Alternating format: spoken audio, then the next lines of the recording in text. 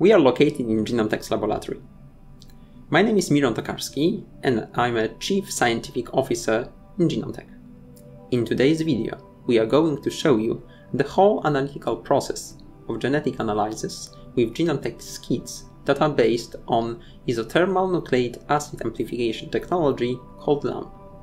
The tests are designed by our team and manufactured in Poland.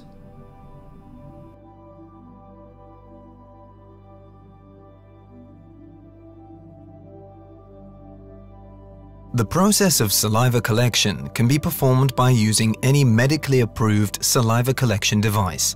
For the purpose of this video, saliva was procured using a simple funnel mouthpiece connected with a collection tube, where trapped in a tube, saliva is secured by a screw cap.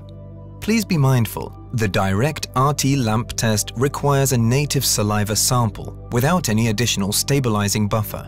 When swab sampling is preferred, again be mindful, a dry swab is to be obtained. However, due to invasiveness and the burden of swab collection, I recommend saliva sampling. The saliva can be used fresh or stored up to a week in a fridge, alternatively up to three weeks in a freezer.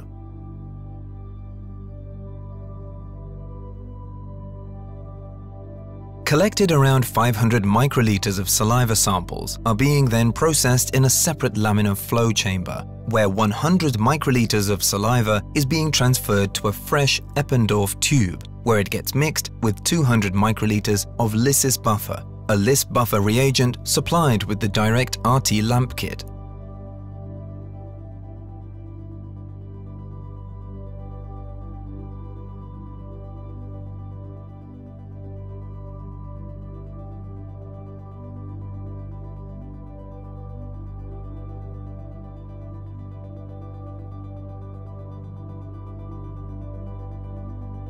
At this stage, please ensure that the lys buffer slurry is well mixed, for example by touch vortexing the bottle for at least 5 seconds.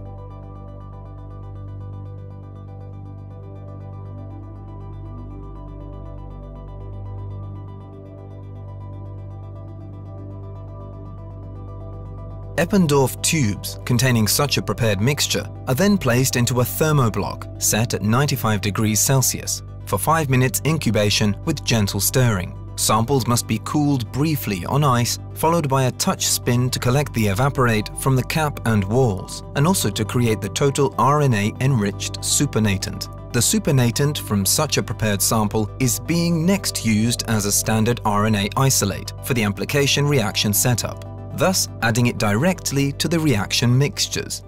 Saliva sample preparation for the Genomtec SARS-CoV-2 EvaGreen RT-LAMP CE IVD direct test is so much faster compared to a standard laboratory RNA isolation and purification protocol. After proper preparation of the laboratory workplace, we can transfer kit packaging from their place of storage, for example the freezer and fridge for lys buffer reagent. Thawing can be carried out at an ambient temperature or in a refrigerator it is important, however, that the individual kit reagents are not exposed to excessive sunlight. While the reagents are thawing, we can program the real-time thermal cycler. Our tests utilize the most sensitive and specific detection technique, fluorescent signal detection, Additionally, usage of the latest generation of enzymes for pathogenic RNA detection allows the execution of two distinct molecular processes. This is the reverse transcription and the nucleic acid amplification, simultaneously, which further shortens the time needed for analysis. The analysis process includes the obligatory state of genetic material amplification carried out at a constant temperature in the range of 60 to 70 degrees Celsius, specific for each diagnostic kit. This stage takes 40 minutes, meaning 40 cycles of 60 seconds with fluorescent readout after each cycle, with an additional melting analysis step to be performed if required. Here you can see an example of the assay protocol. Continuing, we proceed with designing the assay microwell plate layout for the thermocycler, inputting location of assay controls, analytes, naming the diagnostic targets, and also setting up an appropriate fluorescent channels readout. These channels are indicated in the test manual. For this test, the readout takes place in the green channel, otherwise known as SYBR or FAM.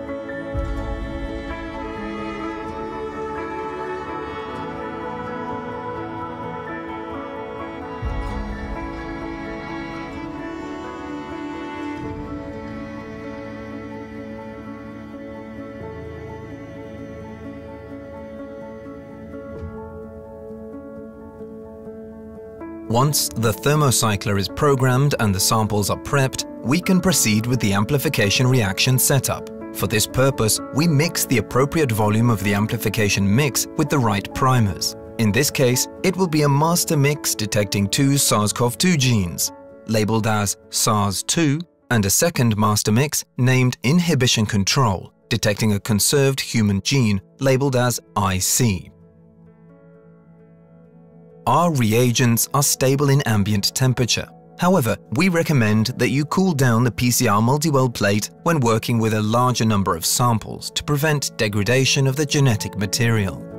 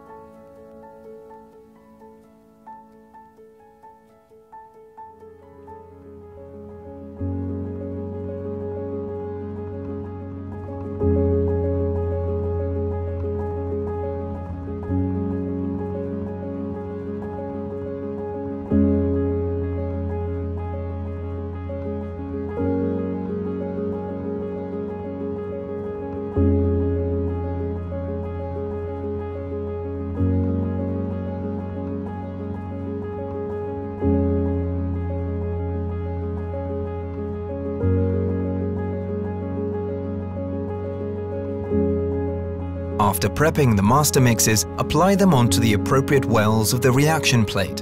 In the next step, add to the predefined well samples the positive control, as well as water to produce non-template controls, NTC for IC and SARS-CoV-2.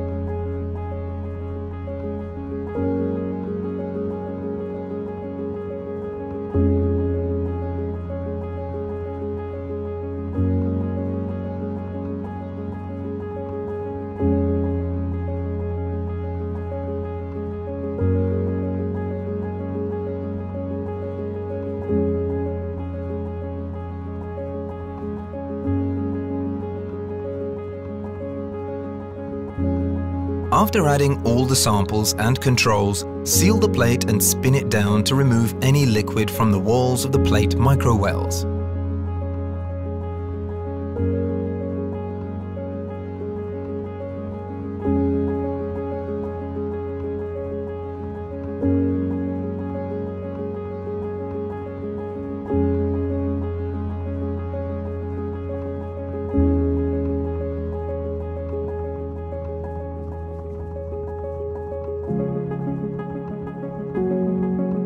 In the next step, we place the plate in the thermocycler and run the protocol.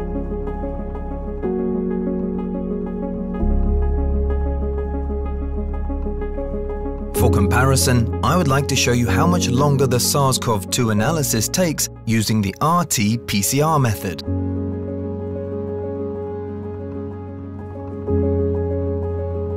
After completing the process, we can proceed with the results analysis. In the case of the LAMP technique, the process is much simpler due to the enormous efficiency of amplification and thus very clear differences in the level of fluorescence between negative and positive samples.